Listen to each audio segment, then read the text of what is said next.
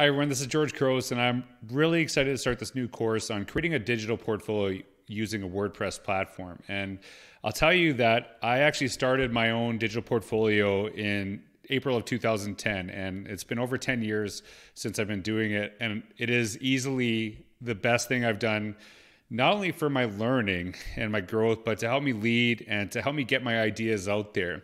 And it's really pushed my thinking. And in this course, I'm going to talk about some of those benefits and really how to put it together. And when I'm talking about how this has been so incredible for my learning, uh, there's five areas that I've I really have thought about and what I want to share and kind of talk about today. But then I'm going to talk about you know five things that we're going to actually do uh, through this course. So the first one, it's really pushed my learning.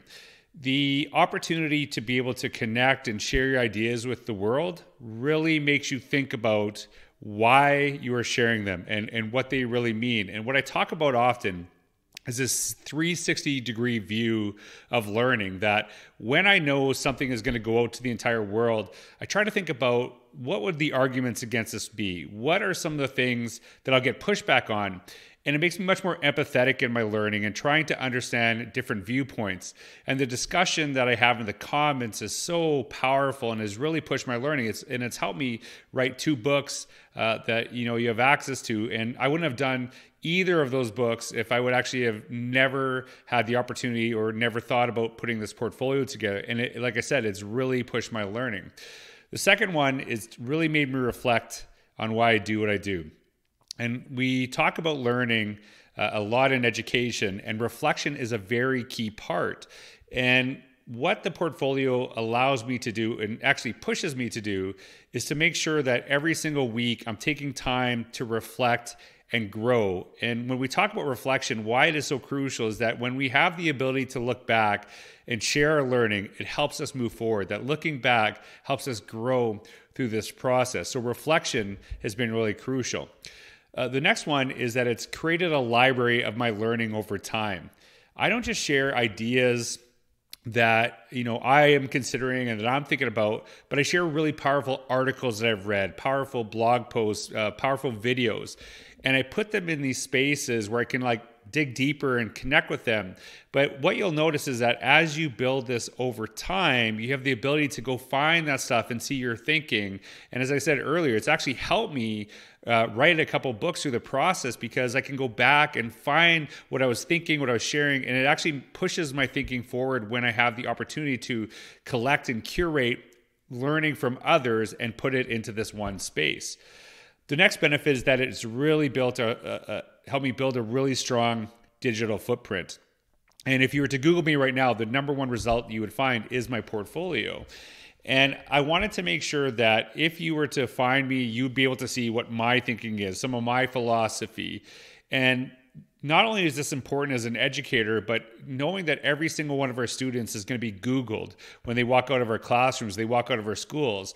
How are we helping our kids that they're finding really powerful stuff that helps them not only maybe find a job, but get into college and starts opening up doors that again that we didn't know existed for them. And there's so many different opportunities that go beyond simply going to college uh, but you know has lends it to so many other spaces. And when you create this portfolio you have no idea the potential. Even experiencing some of the things that i've benefited from in this process it's unlimited and there's so many other things that you know people can utilize this in, in a way that that's really meaningful and powerful and the last point I want to share and why it's been so beneficial is it has opened up doors for me. I've been able to speak across the world, and it's it's truly an honor, and I'm humbled every single time. And when I first started my portfolio, the only reason I started it was to actually understand how would this be beneficial for our students? How am I going to effectively teach how to create a digital portfolio? for our students if I've never learned it. So I actually jumped in, started to doing some uh, some learning and sharing it in these spaces. And all of a sudden, all of these opportunities I didn't even know existed started opening up for me. And when we talk to our kids, we often kind of have this focus of, you know, we want to prepare them to go out and be prepared to apply for a job or whatever.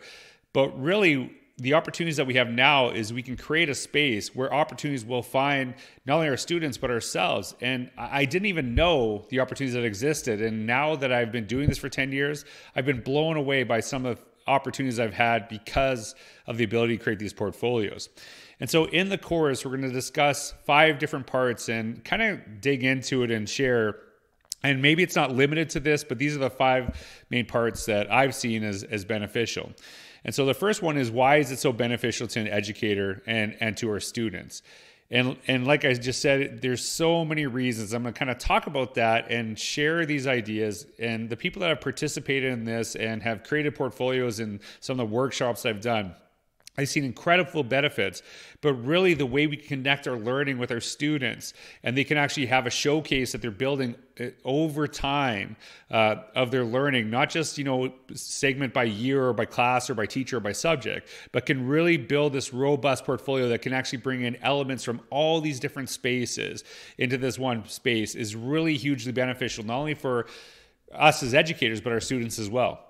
Then we're going to talk about what does a really strong portfolio look like. I'm going to set it, help you set it up in a way that there's obviously flexibility through the process in, in the way that you're sharing. But some of the tips that have really helped me to kind of highlight some of the things that I'm doing that are really well and to really showcase these things while also creating the space where I can process and share ideas and share my learning over time the next part we're going to talk about is like the setup you know the the the nitty gritty of of the process and how do we set this up in a way that you know we're we wanted to put it out to the world but also we can create that library that we can actually see develop over time.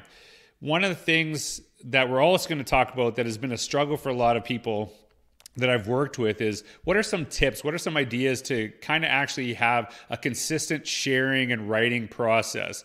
Many people that are watching this right now will think, you know, like, what am I going to even share? What am I going to talk about? And I actually have some ideas and some tips on, on just really simple ways that we can only share our learning, but, you know, as I said earlier, create that library of learning and almost create some templates where we can easily share on a consistent basis. Because when you share on a consistent basis, that's when you actually start to build an audience and people will start to see uh, your learning over time. But if you only do this once in a while, if it's something that you just kind of go back and forth, it is a lot harder to build that audience and to open up those doors. And so as we build that those ideas the the next part and the final part is really kind of thinking about how do we get this out to people? How do we share these ideas? How do we share the work that i'm doing? And so i'm going to give you some tips through that process. So i'm really excited about this whole endeavor and this ability to connect and, and really empower other people to create this portfolio through the process. And, and so i'm really excited about it. I'd love to know if you have any questions. Please reach out to me at georgecouros at gmail.com if you'd like to learn more. But i'm excited about this process. I'm looking forward to it. Take care